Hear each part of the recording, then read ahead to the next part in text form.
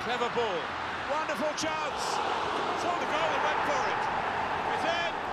It's a great start for them. A wonderful goal. And we'll now have to see whether that will change both managers' approach to this game.